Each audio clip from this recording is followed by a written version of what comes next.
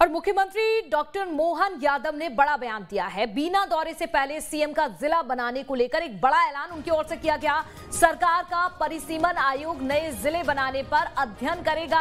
ये बड़ा बयान दिया है। मुख्यमंत्री मोहन यादव ने रिटायर्ड आईएएस मनोज श्रीवास्तव की कमेटी आपको बता दें, इसका अध्ययन करेगी।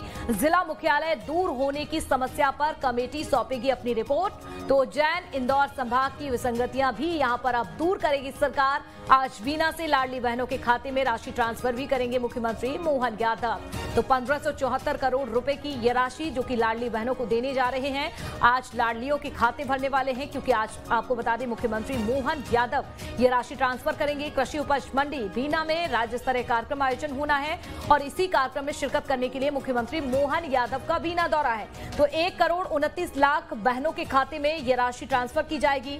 बीना में इसके साथ ही कई विकास कार्यों का भूमि पूजन और लोकार्पण भी मुख्यमंत्री मोहन यादव की ओर से किया जाएगा। ज़िले तो बढ़ गए हैं, लेकिन जिलों की अपनी अपनी सीमाएँ कम ज़्यादा है या कई विसंगतिपूर्ण है। कई लोगों को बहुत दूर जाना पड़ता जिला मुख्यालय, जबकि पास का जिला बहुत पास में है उनके। कई संभाग बड़े छोटे हो गए। ऐसे कई विसंगतिपूर्ण व्यवस्था के लिए हमने परिसीमन आयोग एक नया बनाया है। इस परिसीमन आयोग के माध्यम से नज़दीक के स्थान को नज़दीक के ज़िले से जुड़वा करके जनता की बेहतरी के लिए जो अच्छा हो सकता है वो ज़रूर करना है तो संभाग, ज़िले इनका एक बार पुनर्परीक्षण करना है। इसमें मैंने एक आयोग बनाया है। ऐसे कई बड़े ज़िले अभी हमारे हैं, जैसे सागर, ये हमारा उज्जैन, इंदौर, ऐसे कई बड़े धार बड़े बड़े ज़िले हैं। इनके अंदर के जो, अंदर की कठिनाइयाँ हैं, जैसे बिना रिफाइनरी बन गई तो बड़ा एक स्थान हो गया। तो आगे आने वाले समय में युक्ति युक्तकरण के माध्यम से ऐसे कई निर्णय अंदर करके इस बारे में विचार किया जाएगा।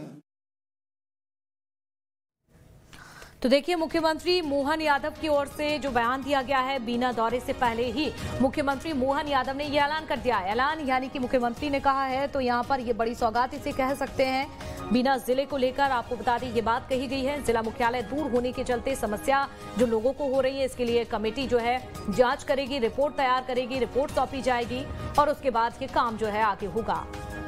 तो किस तरह से मध्य प्रदेश को विकास देना है? ये मुख्यमंत्री मोहन यादव लगातार प्रयास कर रहे हैं।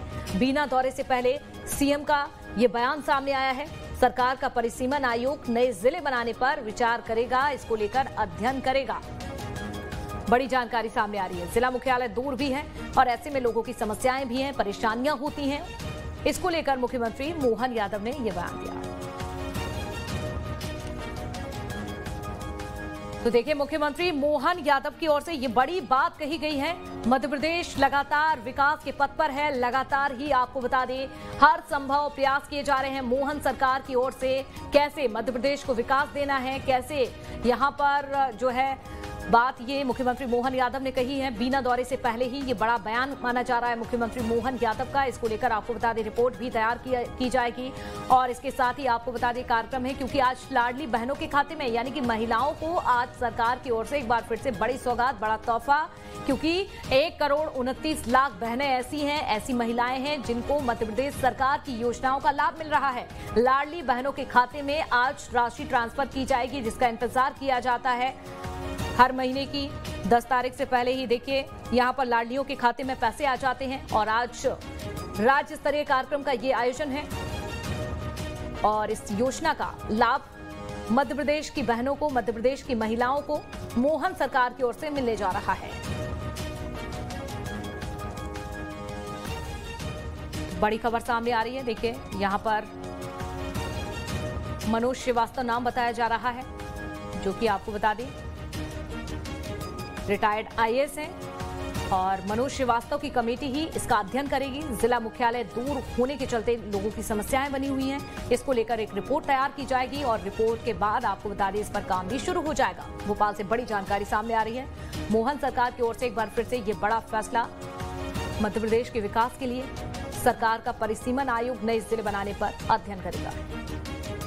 और संदीप सहयोगी हमारे साथ जुड़ रहे हैं। संदीप, देखिए, आज महिलाओं के लिए तो बड़ा दिन है, बहनों के लिए बड़ा दिन है, क्योंकि राशि ट्रांसफ़र की जाएगी मोहन सरकार की ओर से, यह सौगात। लेकिन उससे भी बड़ी बात यह है कि बीना के लोगों के लिए किस तरह से देखे मुख्यमंत्री मोहन यादव ने जो बयान दे दिया है, दौरे से पहले ही उन्होंने जिला बनाने की बात कह दी है, किस तरह से देखा जाए?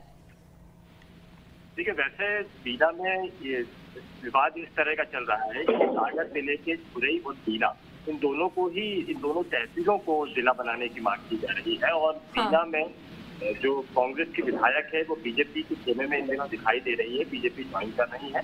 ऑफिशियल तौर पर अभी नहीं हुआ है लेकिन ये कहा जा रहा है कि वो बीना को जिला बनाने की मांग को लेकर ही बीजेपी में आ रही है और इसीलिए शायद सरकार भी बीना को जिला बनाने की घोषणा कर सकती है। लेकिन दूसरी तरफ़ समस्या ये है कि भूपेंद्र सिंह जिस विधानसभा से आते हो रही इस तहसील को भी हम्म। जिला बनाने की मांग की जा रही है तो बीजेपी पशुपेश में है कि बीला को जिला बनाया जाए या सागर या सागर के खुरई इलाके हम्म। यहाँ पर मुख्यमंत्री ने साफ़ कर दिया है कि लोगों की राय के मुताबिक जो परिसीमन आयोग रिपोर्ट देगा उस हिसाब से जिला बनाया जाएगा।